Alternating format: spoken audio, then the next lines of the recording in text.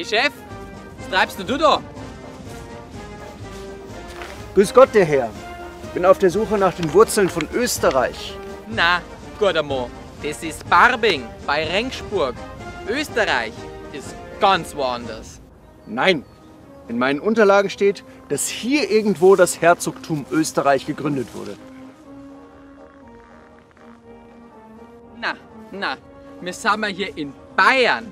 In Bayern, Freund. Freilich, war's lustig gewesen, wenn man auf dieser Wiese hier Österreich gegründet hätte. Aber da hast du verlesen. Da bin ich mir nicht so sicher, Freund.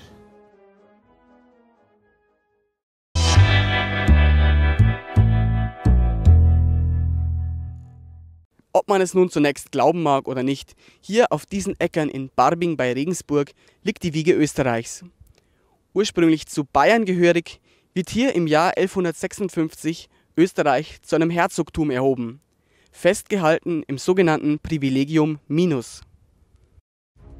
Das Privilegium Minus von 1156 ist eine bedeutende Regelung der bayerischen Herrschaftsfrage und zeichnete sich zwischen drei großen Herrscherdynastien ab den Staufern, den Welfen und den Babenbergern, vertreten durch Kaiser Friedrich I., genannt Barbarossa, Heinrich dem Löwen und Heinrich Jasomirgott.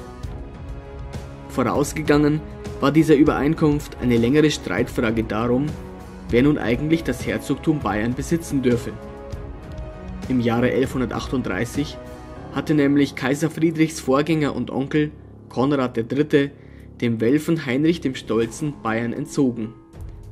Er hatte sich geweigert, dem deutschen König zu huldigen.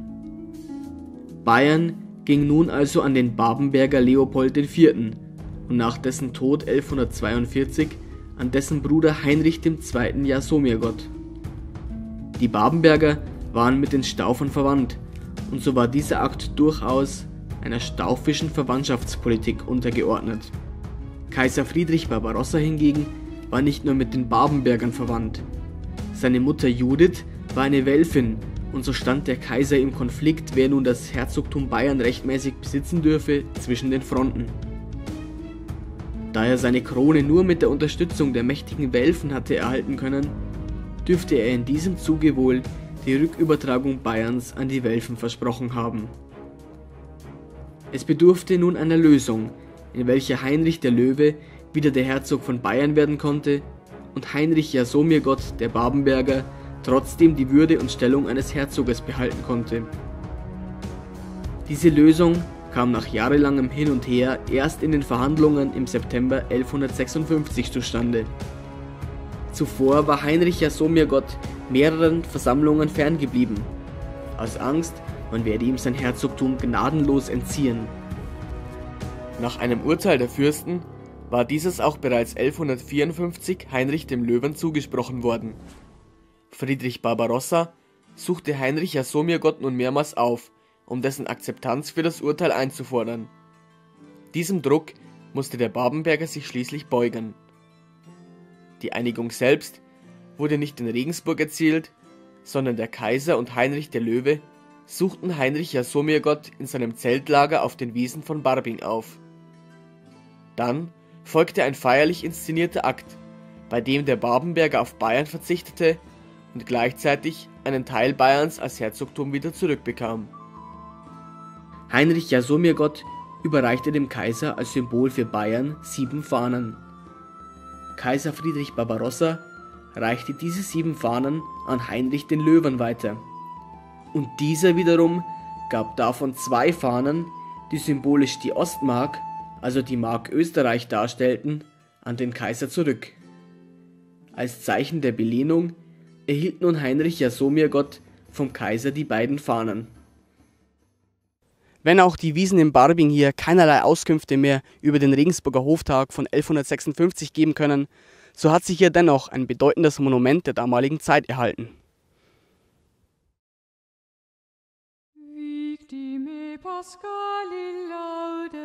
Die Kreuzhofkirche St. Egidius ist ein schmuckes mittelalterliches Bauwerk, das auf eine bewegte Geschichte zurückblicken kann.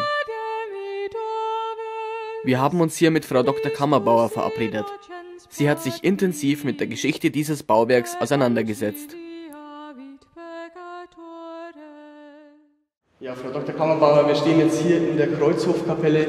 Ähm, welchem Jahr kann man denn diese, diese Kapelle zuordnen? Was sprechen denn die Quellen aus, aus welcher Zeit stammt denn diese Kreuzhofkapelle?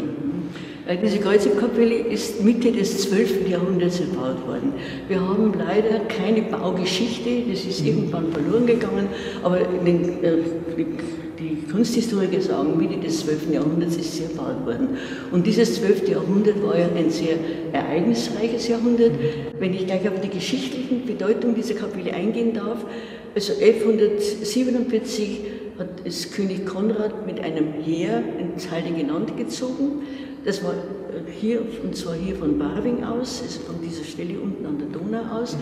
1156 hat Kaiser Friedrich Barbarossa seinen Hoftag hier abgehalten. Bei diesem Hoftag hat er einen Streit zwischen Heinrich dem Löwen und Heinrich Asomegott dem Babenberger geschlichtet, weil dem Heinrich dem Babenberger war das Herzogtum Bayern verheißen und äh, Heinrich der Löwe hat darauf bestanden, dass das Herzogtum ihm gehört, weil es sein Vater äh, besessen hat. Und äh, diesen Streit musste er schlichten, weil er die beiden brauchte, eben auch wieder für Heereszüge. Und er hat den Streit so geschlichtet, dass die Ostmark von Bayern abgetrennt wurde und die Ostmark als selbstständiges Herzogtum dem Heinrich, dem, äh, dem Babenberger, Asumegott, Heinrich Asumegott, dem Babenberger gegeben wurde. Und das ist die Gründungsstunde des, äh, der Bundesrepublik Österreich. Die Österreicher wissen das und feiern ab und zu mal ihr Gedächtnis hier in der. Für 2006 zum Beispiel war eine Delegation der Österreicher hier und sie betrachten diese Kirche als steinernes Denkmal ihrer Gründung. Vermutlich, wie gesagt, könnte sein, aber wir wissen das nicht genau, äh, vermutlich könnte sein, dass die Kirche zu diesem Zweck hier erbaut worden ist weil äh, ja, dieser Hoftag länger angekündigt wurde und vielleicht haben hier die Knappen ihre Nachtwache gehalten. Die romanische Kirche, die einiges mitmachen musste und insbesondere dem Bezirksheimatpfleger Georg Rauchenberger ihre Erhaltung verdankt, weist eine große Besonderheit auf. Sie gehört zu den besterhaltensten romanischen Kapellen, die über dem Kirchenraum ein oder zwei profane Obergeschosse besitzen. Das Obergeschoss der Kreuzhofkapelle wurde als eine Pilgerherberge genutzt.